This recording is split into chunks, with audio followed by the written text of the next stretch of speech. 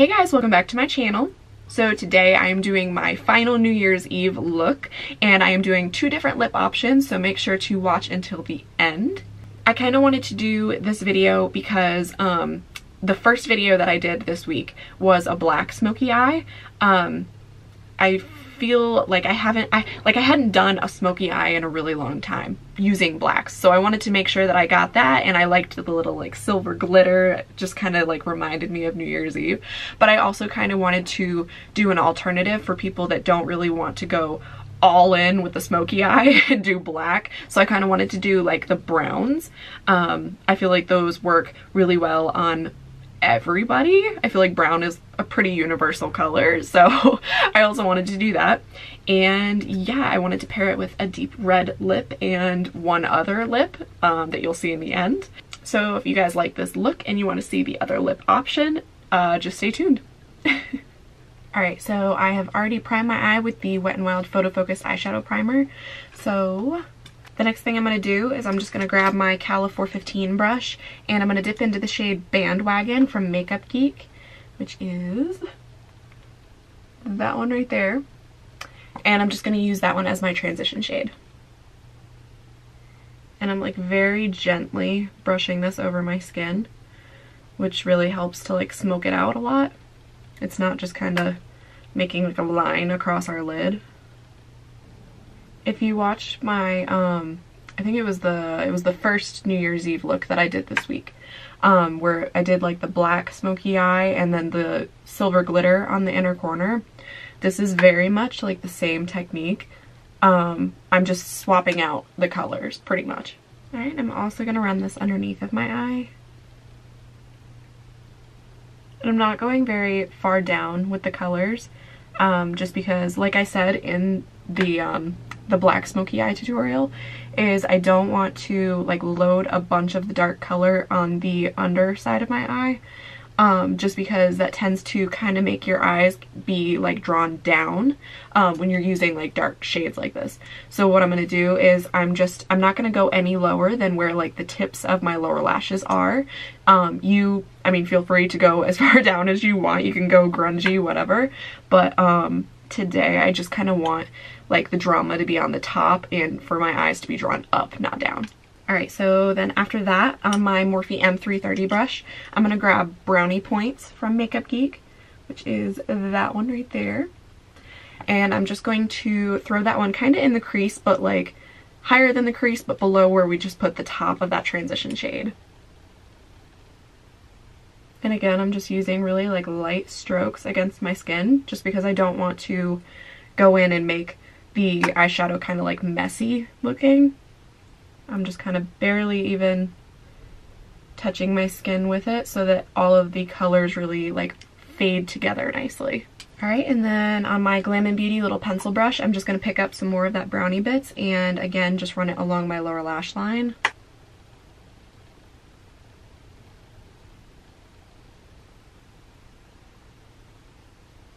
Alright, and then on my Morphe M330, I'm going to pick up some of the shade Chocolate from TIGI, which is this really nice, like, deep chocolatey shade. Hopefully that is focusing. Yeah. and I'm going to buff that into the crease, and again, just kind of keeping it a little bit below where we put brownie bits. So I'm kind of like working from like the top up here and then like stepping down to deeper colors. I'm just picking up a little bit at a time and working this in.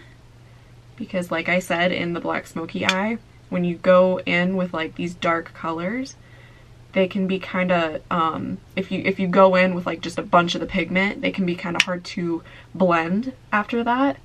So if you just go in with like a little bit at a time and blend it out a little bit at a time it really kind of makes things like smoke out nicely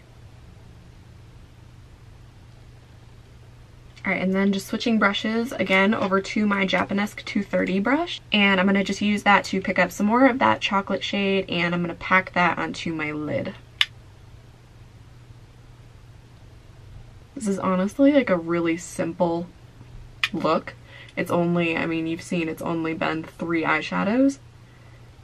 So the biggest part of this is just to make sure that everything is really like blended together good. And I'm just making sure to bring this up to where we put it down in the crease so that there's no like like gap right here of where there isn't any eyeshadow. Right, and then again, just switching my brush over to my Morphe MB47 brush, which is this, this um, flat top like square brush. And I'm gonna grab just a little bit of that chocolate and I'm gonna pat it along my lower lash line. And when I do that, I'm gonna kind of like press it and then lightly flick it down so that it doesn't just look like it's just a line along our lower lash line. It's kind of a line that fades in with like everything else that we have already laid down. so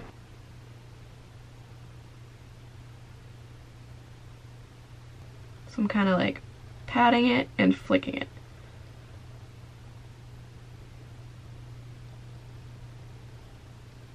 Okay, so then as I always do, um, with especially with looks like this, I'm going to start to work backwards. So now on my Morphe um, M330, I'm going to grab some more of that Brownie Bits color, and I'm just going to kind of use that to help me blend out this chocolate color that we laid down.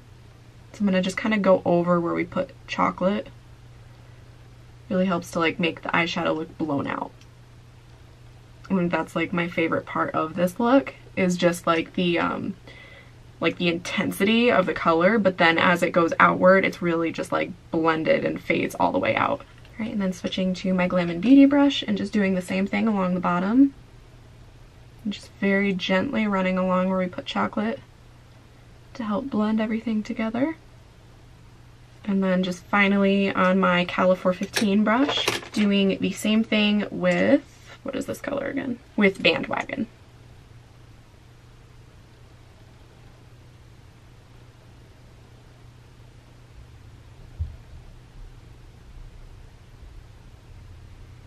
Okay, and then the last thing that I'm going to do with this eyeshadow is I kind of wanted to like stick with the whole like golden highlight that I have going on here.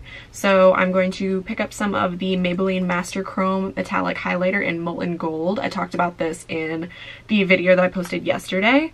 Um, where I tried it for the first time and I'm not even joking like this is the prettiest highlighter that I own and I have so many highlighters it's like the most intense just like I can see this on so many different people, from people with my pale skin all the way to people with like deep skin. This would be gorgeous. So I'm just gonna grab some of that on my little MAC shadow brush and I'm gonna pop that on my inner corner and on the brow bone.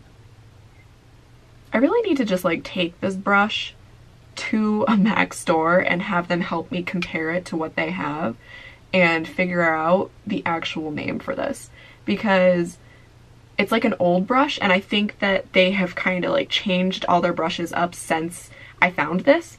Um, so I don't know what it is. I just know it's like a small little kind of like kind of like my Japonesque brush where it like packs it, the color on my lid, but it's just small. and when I'm putting this highlighter on my brow bone, I am bringing it all the way out here and I'm kind of like looping it around with the highlighter that I have laid down. So when we move, it, I don't know if you can see, I can't watch myself do this, but so this whole area here is kind of highlighted. And I'm just going to make sure with my Cala brush that that is really blended together with the eyeshadow. I don't want it to look messy.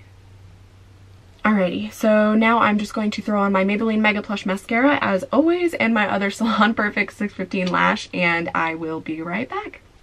Okay, so hopefully I'm zoomed into the same like area here because I like turn my camera off in order to do my mascara and my lashes and when I turn it back on like I have to re-zoom it in and I didn't realize that I could actually just like pay attention to the number that it shows me at the beginning. So hopefully I'm zoomed into the same spot here. Anyways, so while my lash glue is drying, I'm just going to go ahead and do my lips. And today I am doing two different lip options for people that like a good old-fashioned nude lip and people that like a red lip. so first I'm going to do the nude lip. And today I'm just going to use the shade Blankety from MAC, my favorite nude lipstick. And I'm not going to line my lips because I like this shade the way that it is and all my nude um, lip liners are darker than this, so I don't want to darken it.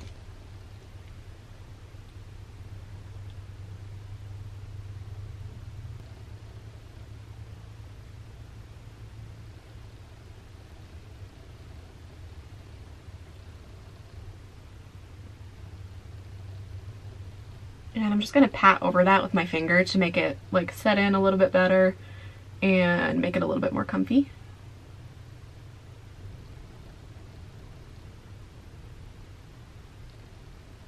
and I'm just going to take this little e.l.f. concealer brush and with nothing on it, I'm just going to run it along the lines just to kind of sharpen up the edges.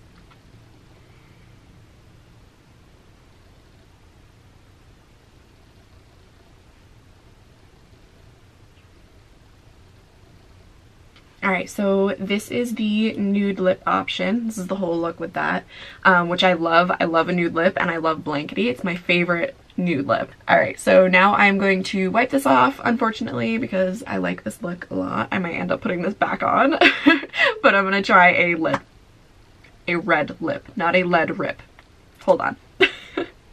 okay, so for the red lip option, I'm just going to be using um, this shade Adoring from the Balm. It's one of the Meet Matte Hughes, like long-lasting, kind of liquid lip. It is a liquid lipstick, but it kind of feels more like the um, the soft matte lip creams from NYX. That's kind of like an equivalent. And I think I am gonna line my lips just because this one has like the little, like this type of an applicator and I can kind of mess those up, so... I think I'm actually, I don't know if I've ever tried this one before, but I think I'm going to line my lips with the L'Oreal Infallible um, Never Fail Lip Liner in the shade Plum.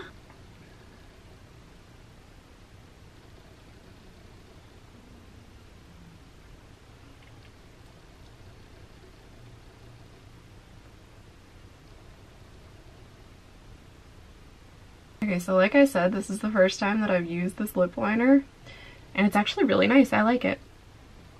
It, I like the um, feeling of it because it's not it's not like super dry that it feels like it's like tugging at my skin but it's also not really creamy which is great because I don't want to feel like it's gonna bleed. Alright so yeah now I'm just gonna fill in the lines with the shade Adoring.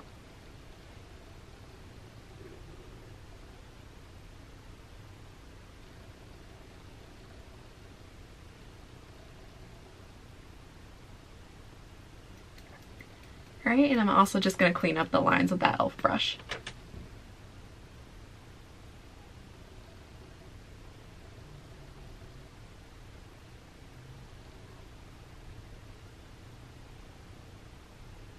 Alrighty, and this is the red lip option, which um, I love the, I don't know, this is the only one of these Meet Matte Hughes liquid lipsticks that I have from the Balm, and I don't know if they're all like this, but this specific one smells so good.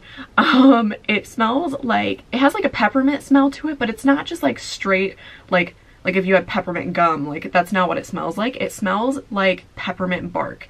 So like the, um, the little, like the melted white chocolate and with like the little pieces of peppermint, that is literally what this smells like and it smells so flipping good. And also now that I have it on my lips, I thought that it was similar to the NYX Soft Matte Lip Cream, but it is a little bit different. It is um, a little bit more like a liquid lipstick, whereas the Soft Matte Lip Cream, I feel like that moves around a lot more on my lips, um, whereas this, it feels like the comfort of the NYX Soft Matte Lip Cream, like the um like the softness and the feel on your lips but it doesn't move around. It has like the staying power of a liquid lipstick so that's nice. Alrighty so this is the completed look and I think I am actually going to stick with the red lips. I didn't think I was going to. I thought I was gonna like switch it out for the nude but I'm actually really kind of liking this red lipstick for a change Alrighty, so I am going to get off of here and I'm going to try to quickly edit this video because I, like, normally I film um, a couple days ahead of time and then I edit them and schedule them to post the day of, you know, Thursday, Friday, Saturday. Um, I'm very behind and it is now Saturday and this is Saturday's video so I'm going to hurry up and try to get this posted by 7 o'clock tonight. So yeah, if you guys like this look, if you like this video, make sure to hit like down below and to subscribe subscribe to my channel if you have not already. So all of the products that I use, brushes, um, jewelry that I'm wearing that you probably couldn't see through the entire video anyway, um, all of that stuff is always listed down below as well as my social. Um, I hope you all have a great day and a great New Year's Eve tomorrow. Um, stay safe, have fun, and yeah, I'll see you in the next one. Bye!